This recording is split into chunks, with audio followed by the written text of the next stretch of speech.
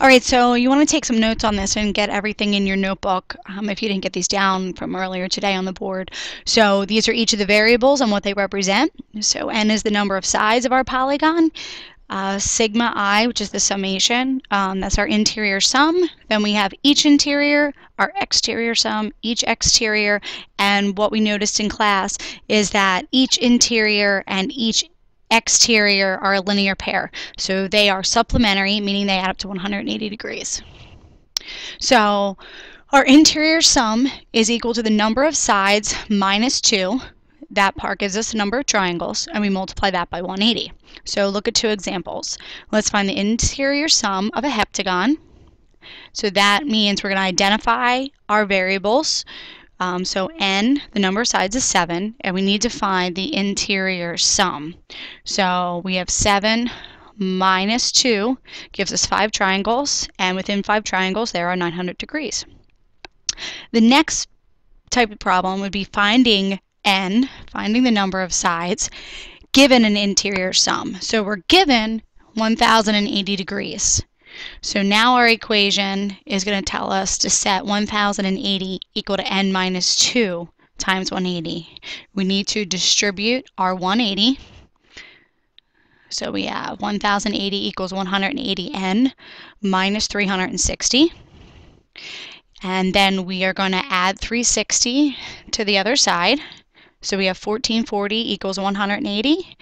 So we find out that we have an octagon. We have eight sides.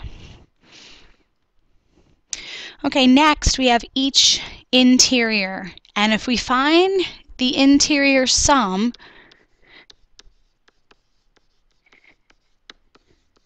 and we divide it by the number of sides, which is also the number of angles, um, then we'll know the measure of each interior angle of a regular polygon. Okay, the key here is that it's regular. So let's identify what we know. So we know we have a pentagon. So we need to find each interior. So we know that I is equal to 5 minus 2 times 180 divided by 5. So we know that each interior angle is 180 degrees. But if we had to go backwards and we found out that each interior angle is, okay, sorry about that, each interior angle is 140 degrees, we need to be able to work backwards. So we say 140 degrees is equal to n minus 2 over 180 divided by n. So we multiply n to the other side, and then we also distributed the numerator. So we move this up here and we distributed. So that was two steps in one.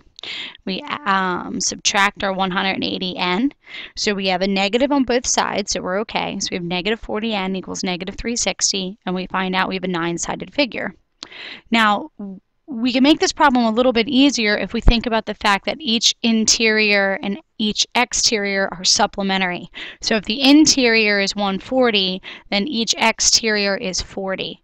And from here, the exterior sum we know is 360 degrees. So if we take 360 degrees and divide it by 40 degrees, we have nine sides. So it's much easier to think um, each exterior than it is to think each interior. But still, if you want um, a systematic process with the formula, there you go. Next, we have the exterior sum. And it doesn't matter if I have a 23-sided figure or a million-sided figure, the exterior sum is exactly the same. It's 360 degrees. All right, so now we have each exterior. So we need to take our sum and divide it by our number of sides, which is equivalent to the number of angles. So if we want to find the measure of each exterior angle of a 13-sided figure, we know n is 13. And so we find E, which is each exterior, by dividing 360 degrees into 13 parts. So that would be approximately 27.7 degrees. Now if we were to go backwards and we said, okay, let's find the number of sides, if we know each exterior is 20 degrees. So now our formula is 20 equals 360 divided by n. Okay, multiply both sides by n divide by 20 degrees, and we have an 18-sided figure. So the more you go through these, the better you will get with them, um, and you may start to find other shortcuts that you can use. But all of these should be in your notes for tomorrow, and we will be checking them.